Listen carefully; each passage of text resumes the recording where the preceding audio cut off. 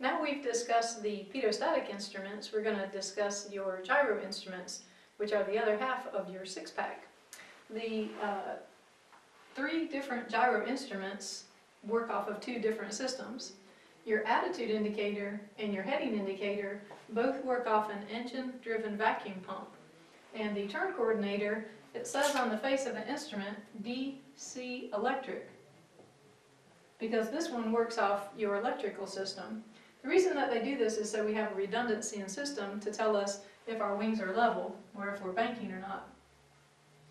The attitude indicator has several markings on it. Sometimes there, there's a different variety of them, but most of them will have a, a short hash and a long hash and possibly another short hash and long hash mark. The short represents 5 degrees pitch up and the long hash represents 10 degrees pitch up. And then the same thing would be true on the bottom part of it. Often you'll have two lines on each side in the uh, ground portion. And uh, the second line is the one that we had discussed earlier, which is representative of a 45 degree bank. At the top, we have um, markings if you're straight up, your wings are level, or if you're banking 30 degrees, 60 degrees, or 90 degrees. And then there's usually two hashes between the 0 and 30, meaning 10 degrees and 20 degrees of bank. Now, how your attitude indicator actually works is there's a gyro in there, and the gyro spins very fast because of your engine-driven vacuum pump. It's the same way that water turns a water wheel, we use air to turn this wheel. And the wheel, or the gyro, is mounted by a, by a gimbal system. And it is possible that if you pitched up more than 60 degrees, correction, if you pitched up more than 30 degrees, or banked more than 60 degrees, that you can knock the gyro off of its gimbal system and then this instrument will tumble and not, you know, sometimes they come back upright and sometimes they don't. You just simply broke the instrument. Um, so one of the errors of this instrument would be excessive pitching or banking. Um, this instrument works by the principle called rigidity in space. If you have a gyro that's spinning really fast, it stays still. Uh, maybe when you were a child, you had one of those spinning toy tops where you, you pumped the little arm up and down and it made the top spin. And as long as that top spin fast enough, it would stay upright. So we call that principle rigidity in space. And as long as this gyro is spinning fast enough, it'll stay the same as the horizon. So the horizon stays still and we actually rotate around it how we see um, the uh, image displayed on your attitude indicator. So the engine-driven vacuum pump, it uh, sucks air through the instrument and how we know if the vacuum pump's doing a good job is inside the cockpit, we look at the suction pump or it may say vacuum pump, but it's the same thing. And typically uh, during cruise flight, the vacuum pump should be somewhere, or the indicator should be between four and a half and five and a half, which would be the normal reading when your needle's in the green arc. Now, because this is indicating from our engine-driven vacuum pump, if we have a very low RPMs, for example, when you're taxiing, let's say you're taxiing and you have your RPM set at maybe 1,000, it's likely that the suction gauge would read very low because you're not working your engine, so therefore the vacuum pump's not working much either. Your attitude indicator uh, works off of the very same principle, although the attitude indicator gyro is mounted sideways instead of uh, horizontal, or correction, it's mounted vertical instead of horizontal. It also works off the rigidity in space principle, meaning that it needs to spin fast enough to work properly.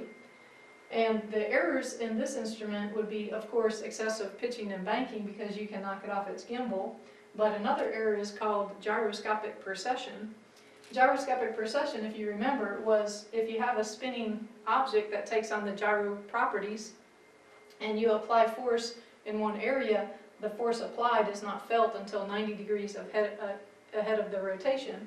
So on your heading indicator, every time you bank the airplane while this is trying to spin, it, it nudges it off a little bit. So they give you a little knob so you can constantly correct it in reference to your uh, compass. So if your compass read uh, 0, 1, 0, then you could readjust your heading indicator to rematch that.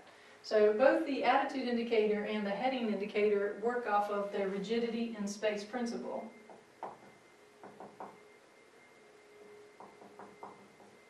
Rigidity in space. and both of them are negatively affected by the gyroscopic precession.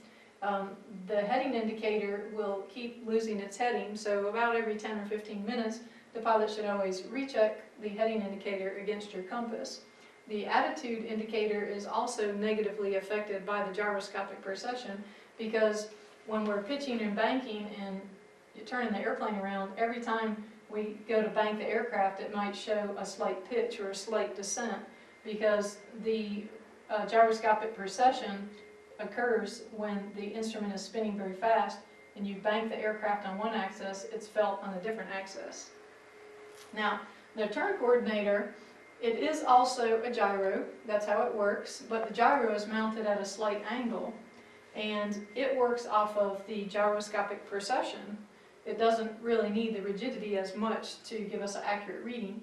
Um, the gyroscopic precession allows the turn coordinator to show us rate of turn or rate of roll. And if we bank the aircraft to your wing is pointing at this little line or that little mark, then that is a three degree per second standard rate turn. We use that standard rate turn anytime we're flying in the clouds or for your private pilot, you have to do at least three hours of instrument training, whether it's in actual uh, IMC instrument meteorological conditions or you're just flying with the hood or the foggles on. But no matter, you would always only bank to standard rate turn by looking at your turn coordinator. So you may ask yourself, well, what bank angle does that give me? Is it always 20 degrees or always 30 degrees? No, it's dependent on how fast you're going. So in your airspeed indicator, if you were flying at say 120 and you were going to make a circle, you would have a pretty big radius. So you would have to turn through 3 degrees per second of your 360 degrees. So it would require a pretty decent bank angle, uh, maybe 22 degrees of bank angle to hold that standard rate turn. But if you are only flying at, say, 60 degrees, uh, I'm sorry, if you're only flying at 60 on your airspeed indicator, then the size of your circle, the radius would be a lot smaller. So you would not have to bank as steeply in order to pass through 3 degrees every second. So if you're flying faster, you may notice that it requires a steeper bank angle to maintain a standard rate turn. And if you're flying slower, it would take less of a bank angle to maintain that same 3 degrees second standard rate turn. So your attitude indicator and headed, heading indicator work off your engine-driven vacuum pump, and uh, they both work off the rigidity and space principle, and gyroscopic precession plays against them. The turn coordinator is electrically driven. It works off your electrical system, and um, it works off of rigidity in space, but primarily gyroscopic precession and it shows rate of roll and rate of turn. So these are your gyro instruments.